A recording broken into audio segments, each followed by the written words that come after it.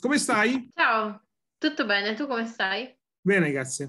Come ti chiami? Io mi chiamo Ellie, a.k.a. Ellie Cottino. Da dove nasce questo nome? Allora, è il modo in cui mi hanno sempre chiamata e non credevo tanto nell'idea di avere un vero e proprio nome d'arte, preferisco portare quello che sono io, quindi anche nel nome. Di cosa tratta il tuo progetto musicale? Faccio rap improntato al tema sociale e politico, in particolare sul femminismo, che è il tema che mi sta più a cuore. Ho iniziato a scrivere canzoni all'età più o meno di 11-12 anni e poi ho continuato a rappare un po' più seriamente più o meno 5 anni. E da dove prendi ispirazione? Dalle cose che mi succedono che mi fanno incazzare o mi fanno emozionare in un modo positivo o negativo, e dalla musica, dal, dai beat che ascolto, e sì, dai libri, dallo studio, tanto. E di cosa trattano le, le tue canzoni? Ma diversi temi, perché nel senso dalla più classica, l'appartenenza al quartiere, io sono di Lingotto, tra l'altro, salutiamo Lingotto, State of Mind, e a cose anche più specifiche come l'aborto oppure il Vaticano, ho fatto un pezzo contro il Vaticano, BTCN, If You Know, You Know, e, femminismo, l'industria dei diamanti, abbiamo fatto una canzone con una sister um, su donne che, che sono state messe in galera o hanno rischiato, insomma, la galera eh, per i loro ideali. Eh, tra l'altro parliamo appunto di Carola Rachete e di Donna Nicoletta del Notav, quindi sempre Notav. Durante la creazione di un testo, com'è il flusso creativo per arrivare ad un testo completo?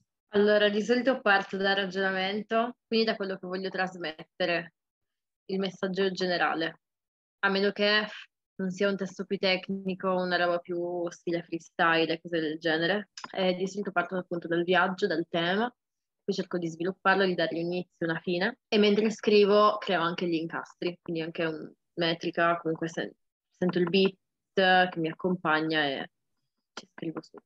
Sembro cattiva, non metto durare Tu fai scena, si sei figa, sembra tu faccia drag E se parli di cose di cui sarebbe meglio tacere Chi parla parla, poi si sa tanto non sono vere. Pensa alla musica, non solamente al live, dai. Nel mio quartiere se ci vieni finisci nei guai. Ho una voce in testa che mi dice che non uscirò mai. Lingotto Yeah, lingotto, state of mind.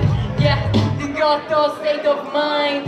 Yeah tu crei anche i beat o ti fai da, da una mano da qualcuno? Non ancora, lo farò sicuramente, eh, solo che in questo momento non ho proprio il tempo.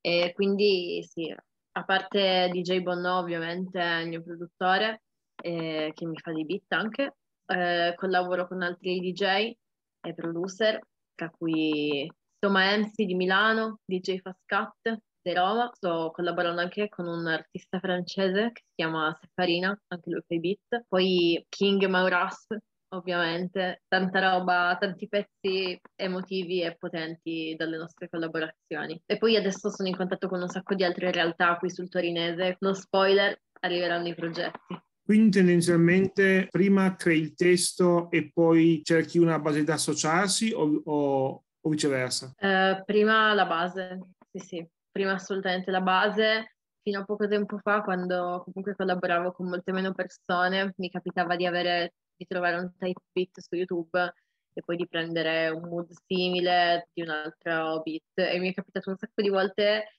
che questa cosa fosse mega funzionale perché magari scrivevo un testo su una mood, tipo su una canzone mega aggressive di Eminem e cose e poi usciva bene invece associato a un beat un po' più funk, un pochino più swag eh, e veniva molto bene.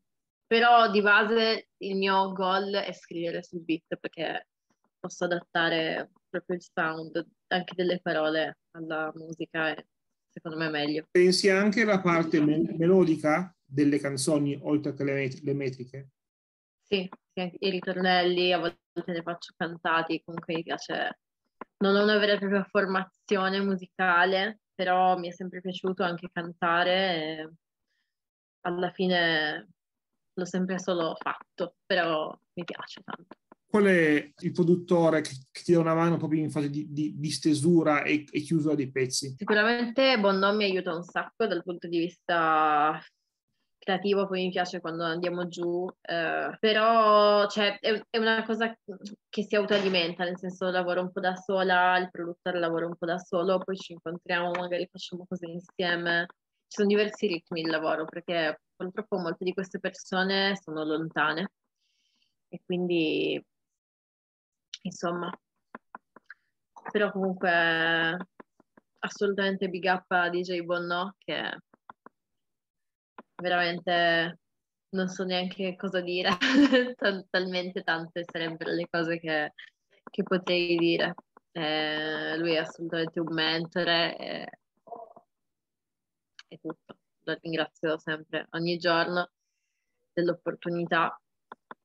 Eh, e insomma, adesso abbiamo trovato un buon compromesso di lavoro, appunto, siccome lui comunque è lontano, molte cose le faccio qui. E poi, insomma, lui lavora, le perfeziona, sfrutta lui. Ogni quanto più, più o meno vi vedete? Più o meno una volta al mese, anche di meno in realtà, perché per via del lavoro, dell'università, poi lui ha un sacco di progetti in ballo, quindi molte volte magari facciamo una session lunga di due o tre giorni bam, proprio dove mettiamo appunto tutto il lavoro fatto fino a quel periodo e insomma, però prim- cioè, ovviamente c'è tanto lavoro anche a casa e insomma delle sala prove, degli studi anche qua. Come vi siete incontrati te, Bonnot? Allora, praticamente ho partecipato a, al suo contest eh, in onore della raccolta i Pop Dopest Joints e lui metteva a disposizione i suoi beat e si potevano scegliere, scriverci sopra e pubblicare. E io ho pubblicato, eh, ovviamente sul beat di RM Confidential, che è una canzone totale. E ovviamente Bono si è preso bene, eh, mi ha scritto subito, mi ricordo la prima telefonata, io ero tipo morta, poi non ci credo che sta succedendo davvero questa cosa. E abbiamo parlato, ovviamente abbiamo subito capito che avremmo potuto lavorare bene insieme, andare d'accordo perché avevamo le stesse idee su tutto. E da lì è nata la collaborazione, abbiamo fatto uscire qualche singolo e poi abbiamo parlato dell'album e adesso è pronto il mio gioiellino, il nostro gioiellino. La mia idea è continuare a lottare per queste idee, le mie idee, le tue idee, le sue idee, donne che cambiano il mondo con delle idee, la mia idea è che sono solo donne ma appaiono dee, 3 giugno 2019, Carol è partita per salvare le persone che scelsero la via del mare. Con un gommone, a rischio della vita per cercarne una migliore, l'idea che può collaborare con le ONG,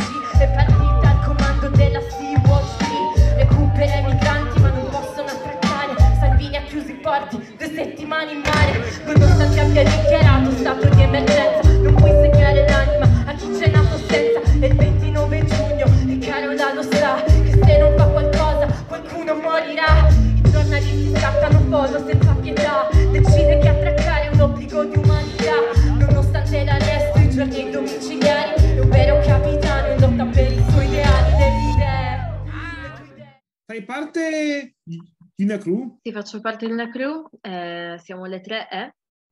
Adesso si sta allargando, tra l'altro, perché ci sono sempre più, più ragazze che stiamo, stiamo facendo progetti. Eh, le, le, I membri della mia crew per adesso sono Giga e Betta.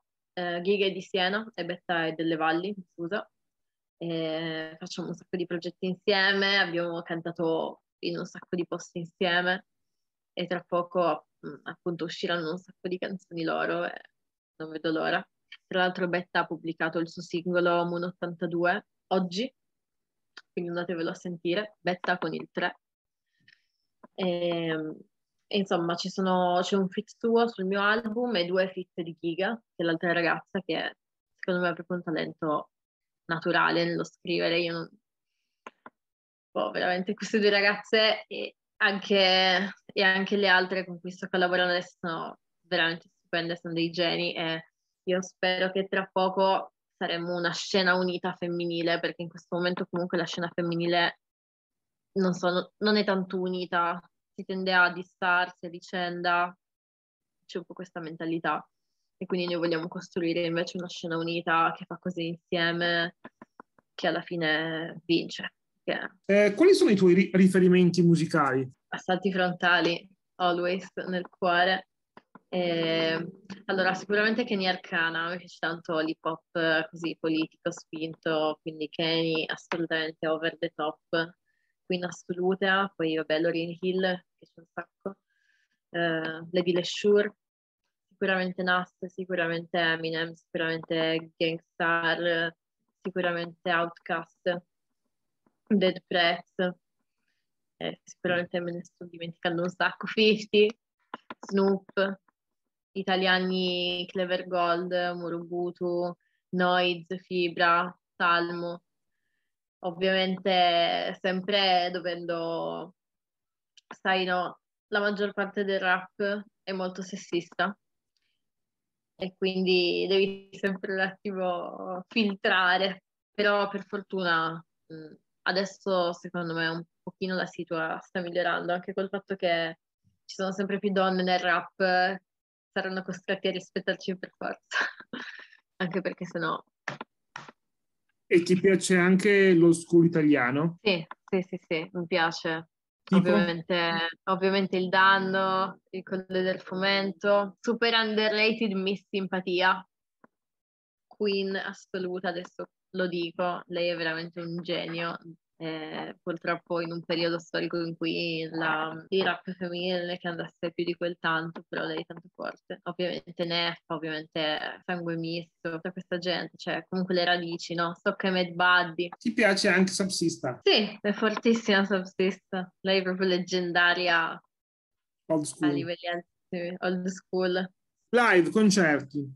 Ti piace il rapporto col palco o, o, ti terrorizza? Lo adoro, mi piace tantissimo, è la mia parte preferita di tutto, non è vero, forse anche lo stare in studio e creare canzoni, però il palco è proprio un'emozione, soprattutto quando è un palco che insomma reagisce ai tuoi stimoli, poi ovvio bisogna essere bravi, bisogna fare tanto tanto allenamento, però è bello, è gratificante. Ti piace di più il momento della sala prove in cui provi oppure il momento sul palco? sul palco. Mi piace proprio creare, vedere la gente magari emozionata perché ho scritto una cosa mega struggle, mega depre, la gente lì così, oppure quando li fai impottare con un po' di rime secche cattive, loro è bello, è bello, cioè si crea tipo un, un flusso di energia quando, quando questa cosa funziona. E, tra l'altro ho fatto live con un sacco di artisti della scena di Torino e dintorni, infatti big up a tutti, non sarò a nominare tutti, però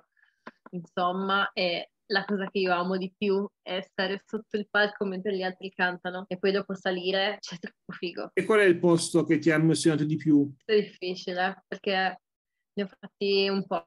Eh, nell'ultimo anno penso che tocchiamo la ventina è difficile perché ogni volta è un'emozione nuova, ogni volta ci sono persone diverse. Non vorrei dire una minchiata, però forse Milano, perché non me l'aspettavo. Cioè, nel senso, mi cagavo sotto, dicevo, magari a Milano non piace la roba conscious così come la faccio io, invece il pubblico era assatanato e io ero tipo, bella, ok, lasciatemi qua. E lì ho capito perché i rapper vogliono andare a Milano.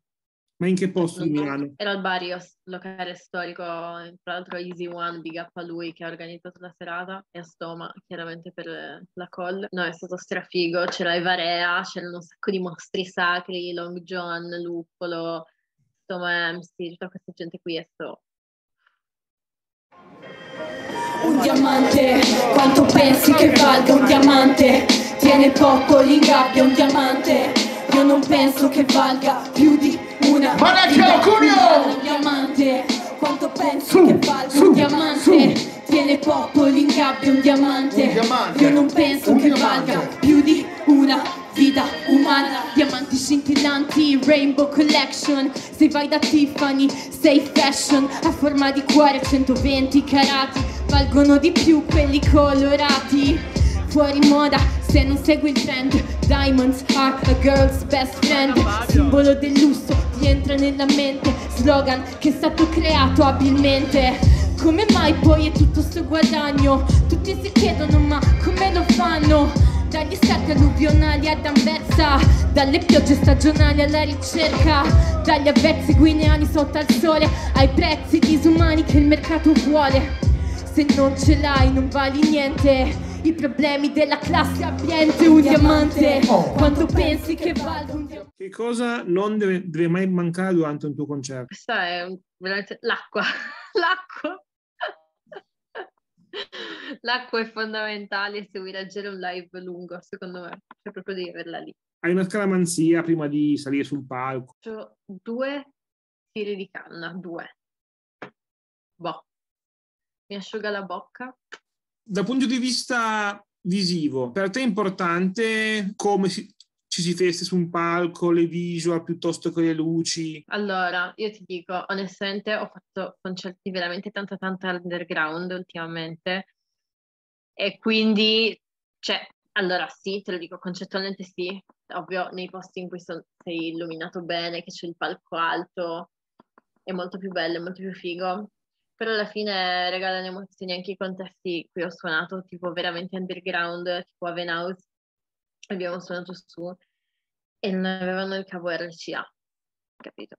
E non mi hanno detto, io gli ho detto porti il computer, cosa devo fare? No, no, porta la, cavetta, la chiavetta tranquilla.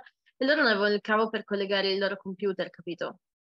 E quindi abbiamo suonato con una cassa Bluetooth attaccata a un microfono così davanti che mandava la musica nell'impianto ed è stato figo ugualmente, ovviamente illuminato malissimo, però strafigo, cioè se tu è così underground, oppure abbiamo suonato i giardini reali e aveva piovuto da poco, c'era una pozza di fango davanti al palco e ovviamente la gente non andava sotto, però noi per, perché boh, siamo, siamo calde così siamo scese giù, solo che poi ci siamo accorte che c'era sta cazzo di pozza e abbiamo letteralmente cantato nella cazzo di cosa, cioè ti giuro provavi a saltare e non riuscivi, tipo le scarpe tanto così sporche di fango, cioè, giuro. Però anche quei contesti assurdi alla fine regalano un sacco di emozioni, no? Cioè ti temprano. Domanda Jolly, lockdown. A te è servito per sviluppare maggiormente il tuo progetto musicale o ti ha fatto deprimere? Tutte e due, ma è stato molto utile, cioè nel senso ho trovato tanta, tanta ispirazione nel lockdown perché chiaramente le emozioni forti eh, ti danno quella roba lì di creatività.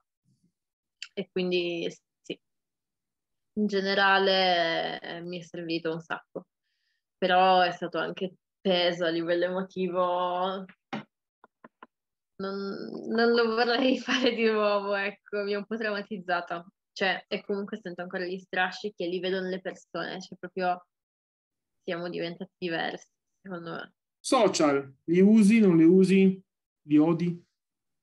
Allora, non li odio, no, li uso con i miei limiti perché chiaramente eh, dovrei usarli di più, lo so, però mi impegno comunque nel mio piccolo.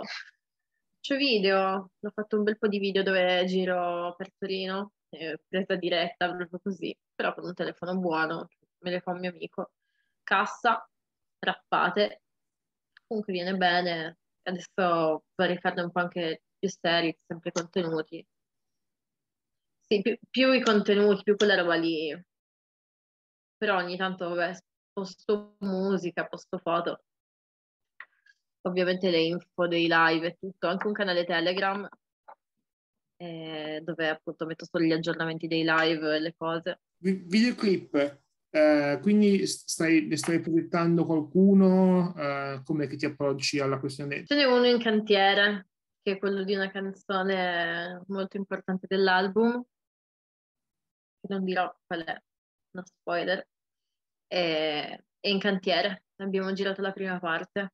Hai anche in cantiere un album?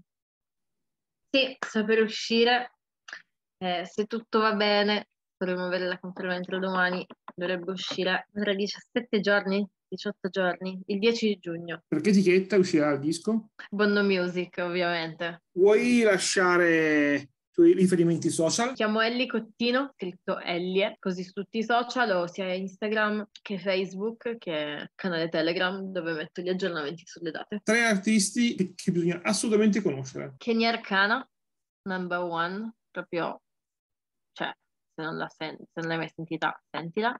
Protoge, che è un cantante reggae devastante.